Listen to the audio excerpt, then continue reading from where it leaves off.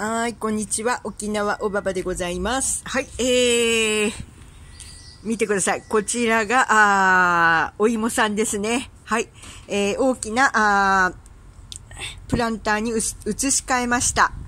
はい、えー、お芋さん、えー、順調に育っています。昨日ね、こちらの葉っぱですね、お芋さんの葉っぱを取ってお味噌汁にしました。とっても美味しかったですよ。はい。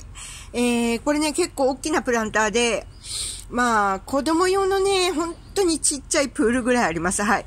えー、この中に土が100リットル入ってます。はい。なので、えー、収穫をね、えー、十分楽しめると思います。はい。えー、お芋さんですね。皆さん、あの、ちょっとリクエストいただいたんでね、お芋さんの、あの、成長が見たいと。はい。えー、なので、こちらにお芋さんね、はい、えー、移しました。はい。えー、ということでね、はい、えー、またね、えー、面白い記事がありました。えー、英語の記事なのでね、皆さん、あの、Google さんから飛んでください。はい、えー、Google さんから飛んで翻訳、自動翻訳していただくとね、あのー、内容がわかります。はい。なんとね、またね、W なんちゃらですね。はい。W なんちゃらのテドちゃんがバカなことを言い始めてます。何かというとね、またね、えー、メロンちゃん。はい。メロンちゃんも義務付けしようということをね、各国に通達したそうです。はい。秋にね、各国、ロックのダウンタウンする予定だそうです。はい。もうそういうことまで決めてるみたいですね。でね、えー、まあ本当にバカらしいんですけど、はい。えー、フレームレア。はい。あれを、頑張って食べろと。はい。で、まあ、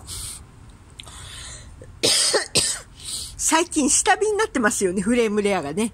なのでね、慌ててるみたいです。で、今度は、食べてない人もね、食べるようにね、進めろとね、言ってきました。はい。まあ、あのー、セーブ・ザ・クイーンのね、あの、お国のね、データ見ればわかるんですけど、食べれば食べるほど、ほ、映るんです、なりますからね、あれは。はい。食べないのが一番でございます。えー、多分そのぐらいの報告はね、もう、あのー、なんて上がってるとは思うんですけど、多分このテドちゃんね、えー、例のね、えー、いろんな会社からね、えー、お銭銭をね、じゃらじゃらともらってるんでしょう、きっと。はい。えー、でね、えー、多分ね、食べろとしか言いようがないんですよ。はい。そういったデータはすべて無視でございます。はい。これ、日本も同じですね。大体日本も同じです。はい。えー、食べてない人の方が、今ね、えー、こうなんちゃらのね、あのー、データでもね、えー、食べてない人は、全然なんか、問題が少ないというデータが出てるんで、ですけど、こういったものを無視してますからね、完全に。はい。えー、そういうことを向こう側のやからはやります。はい。えー、なので、皆さんね、十分に注意してください。はい。まあ、そういうことですね。えー、でも、まあ、一応向こう側の予定は、あわかりました。とりあえずね、えまたね、メロンちゃんを我々にさせてね、え食べさせる予定だと。はい。えそういうことでございます。なんでね、私たちこれね、え、十分注意して、えー、いきましょうということですね。はい。またなんか外出るとすぐこのピーポーパポが聞こえるんですよね。皆さんわかります？ね。